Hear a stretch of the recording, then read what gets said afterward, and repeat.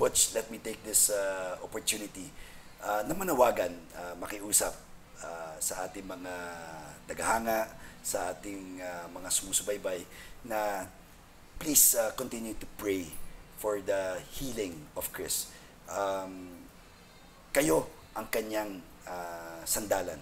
Uh, lumalakas ang kanyang loob, tumatatag ang kanyang uh, pakiramdam uh, tuwing may nagpapadala ng mga mensahe whether uh, directly or on social media na sila ay nagdadasal, nananalangin, uh, concerned at nag-aalala uh, kay Chris. And believe me or don't, um, she really le- she really reads your messages and she finds strength and inspiration from all your prayers. So let's continue to pray for her healing and speedy recovery.